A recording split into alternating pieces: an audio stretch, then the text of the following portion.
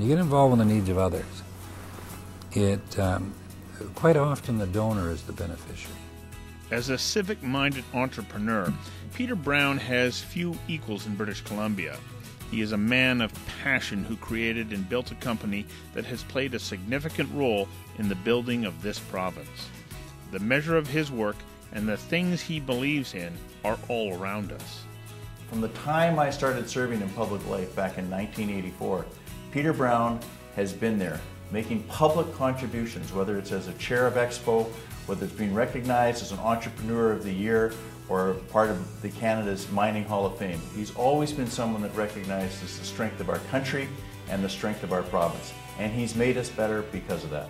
Looking to the economic benefits of the investments in mining and other resource industries that Peter Brown has been a part of, and then you begin to get a sense of the man. Peter Brown is the perfect example of how ideas manifest themselves in the business community. Peter's story is unique. After dropping out of university, he headed east to work with Greenshields, an investment firm. Then, at the age of 28, he decided that he wanted to build his own firm and return to Vancouver. So he and a partner made a calculated gamble. They invested $23,000 in a failing company. And we bought a firm that had no reputation, no money, no history, and no talent. that was a little small, bankrupt bucket shop in Vancouver. And today it's 2,000 employees with almost 40 offices around the world and growing. That company today, of course, is Canaccord, the country's biggest non bank owned investment dealer. Approaching $1 billion in annual revenue, it is quite literally a world changer. Peter Brown's organization has raised more money for mining and, and, and petroleum uh, exploration around the world. You know, it's quite an accomplishment that Peter's achieved in terms of building a company like Canaccord with a global reach that's in, I think, pretty well every continent in the world in a significant way. And he's grown it from Vancouver. Passion is what keeps putting one keeps you putting one foot ahead of the other.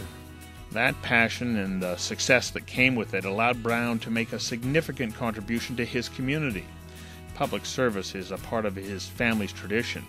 His father played a role in the creation of the Vancouver Aquarium and was a driving force behind the 1954 British Empire Games. His uncle contributed one of Vancouver's most famous landmarks, the Mermaid in Stanley Park. They were constantly involved in projects to make BC a better place, take it to its rightful place. So I inherited that. Peter devoted time and energy to the organization of Expo 86 as Vancouver put its best face forward to the world. He was on the board of VANOC and played a key role in the success of the Olympic Winter Games. Other features of the Vancouver skyline, like BC Place, also owe much to his extraordinary business instincts. One of his proudest achievements, he says, was his record breaking fundraising work for UBC.